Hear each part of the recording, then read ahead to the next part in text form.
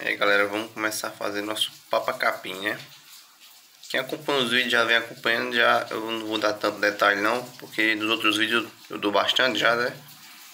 Aí quem já tá acompanhando o canal aí sabe, né? Já tem esse molde aqui que eu uso para fazer qualquer pássaro. Golinha, o bigodinho, papacapim agora. As pequenas diferenças, que é finura de bico, é, se ele tem uma cabeça maior ou outro que outro passarinho. Essa, essas diferenças aí a gente tira lixando, na hora de lixar, né? Por isso que eu não me preocupo tanto assim, tá mudando de molde. Eu uso esse molde aqui, ó. Aí dá pra fazer tudo. Aí a gente, na hora que a gente vai lixando, vai colocando essas características na hora de lixar. Fiz aqui, ó, duas partes nesse, nesse chinela velha. Vou cortar agora, colar e começar a lixar, né? Cortado, agora as duas partes, agora vamos colar, né, uma na outra e lixar. Olha só, galera, já lixei, ó.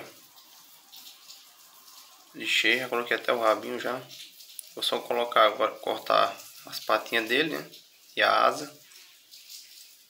E depois começar a, com lápis fazer a marcação para na hora da pintura já agilizar mais rápido, né? Olha só. Lembrando que eu fiz com aquele mesmo molde, né? Que eu fiz o, o golinho, o bigodinho, mas só que eu vou afinando, fino o bico, faz o rosto mais fininho, né? Na hora de lixar. A gente tira essas medidas na hora de lixar.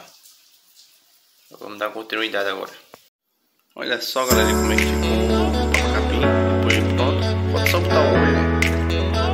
Fazer depois. Só eu, eu não fiz com a asa levantada porque aquele é mais pra treino, né? É pra simular um pássaro chegando voando, né? Fiz sem asa mesmo, aqui como se fosse aquele troféuzinho, né? Gás azul. Daí eu fiz sem, sem a asa. Pra ficar bem finalizado. Figurou aí. Só curte, compartilha, se inscreve no canal. Ativa o sininho aqui. Tá fazendo pássaro direto. O canal também Arthur Passarinheira. Fazendo pássaro,